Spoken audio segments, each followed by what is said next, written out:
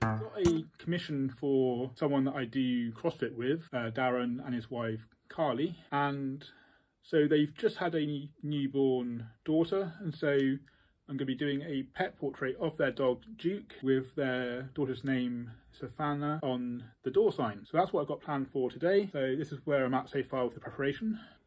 So I've just photoshopped just the key lines of Duke, come up with this font from dafont.com, which they've agreed with. I gave them a choice of seven. And so it's going to be a little bit challenging for this nice little broken font, but I can either do that with a dry brush or I can do it with a very tiny brush. And yeah, it's gonna be a nice challenge, but I'm sure I can get it as close as possible. But for today, I've just got to do the background and then transfer this over on carbon copy paper and yeah, enjoy all the layering up of this very small 10 centimeter in height pet portrait. But I'm going to be concentrating on getting this painting as I want it, so I don't know. But I always say I don't know what I'm going to film. It ends up being a lot of footage. I really like the challenge of having these commissions where it just pushes me out of my comfort zone and I can adapt my style to fit the likeness of what they have in mind.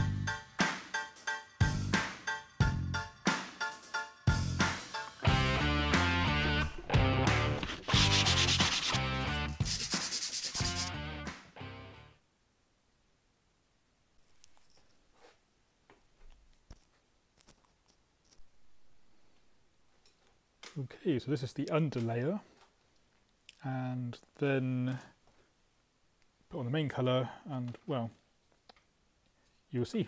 A lot of paint drying, waiting time and all that sort of stuff.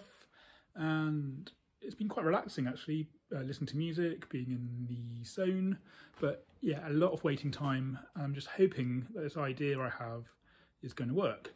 But I'm really looking forward to actually actually spending some time with this painting and getting it looking as I want it. At the moment, the material I'm painting on is soaking in the paint a lot, so I'm hoping once I add that other layer of matte medium um, in between, then that should solve that one. So yeah, a few little challenges along the way, a lot of waiting for paint to dry, and we paint soon. And yeah, I'm always got paint on my face because the way I paint, but what it is.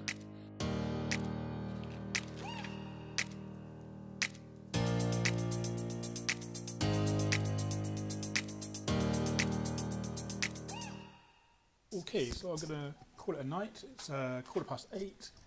Uh, we'll prepare all the little paw marks at home and then add the final coat on and I don't have to wait for the paint to dry yet again. So it was ambitious to do so many coats, but this is where we're at.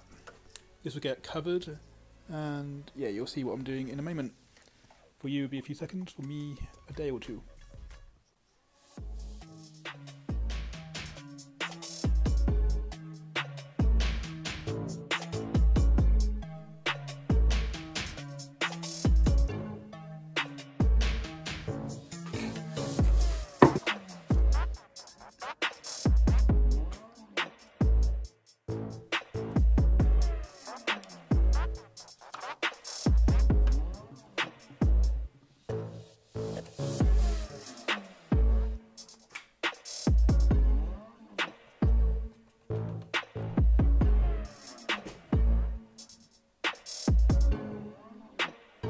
So this should be the fun bit.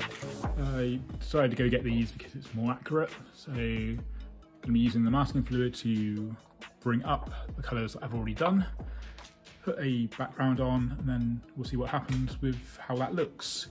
But I thought I'd add a bit of pink on it. I think that would look a little bit better, having the yellow, pink, purple, and green. So that's good. It's quite gloomy outside, so I'm feeling a little bit on the winter tired. It's wonderful to be able to just paint something quite technical and to just lose myself in that. So really looking forward to that, even though I am feeling a bit fragile today. So gonna see how far I get today and then got this wonderful book by Scrofulous, which is on my vlog channel. I'm slowly going through the prompts with that while the paint dries.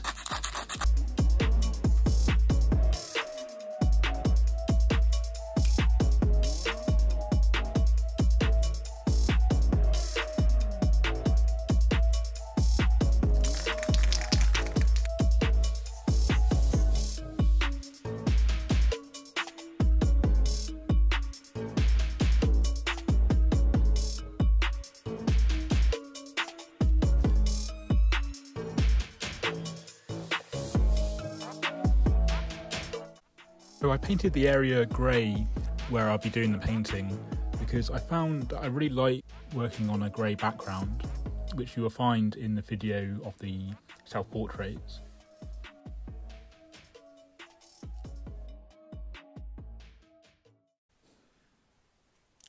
Great. Try the brand I know. Yeah, this could be a challenge. This is too sticky for the carbon paper. Yay. Hmm. Well, we'll cross that bridge tomorrow.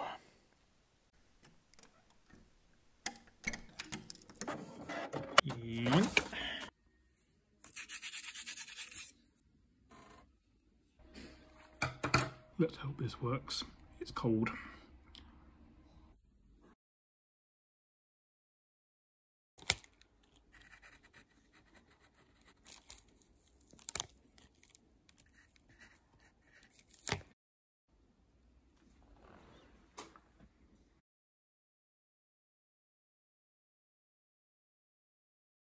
Why?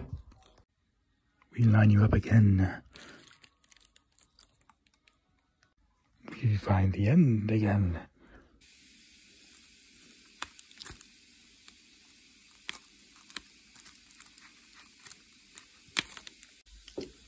Looks like we're going in freehand then.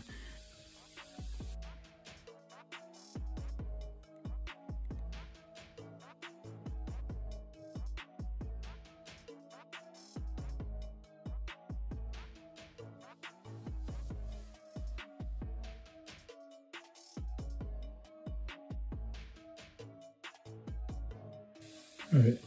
No one's going to follow that. So,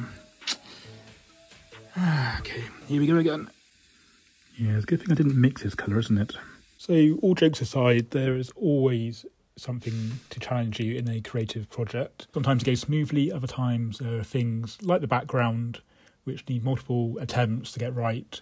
And it's through the years of experience which has really helped me to trust that I can work it out and actually, that was exactly what I needed in that moment. I had a lot going on that week, and it was just nice to really focus on the background, getting into that sort of meditative space of preparing for it. A few things went wrong, but just being able to overcome it without that creative thought. Then, when we got onto the painting, it went super smoothly having done that preparation. And as you will see, I'm very happy with the end result, and I hope you enjoy it.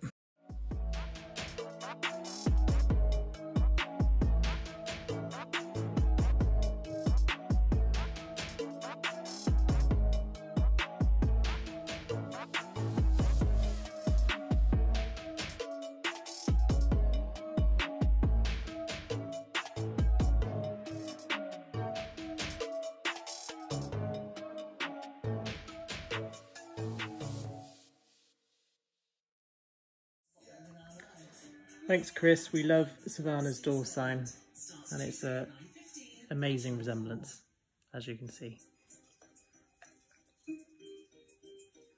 Whoop.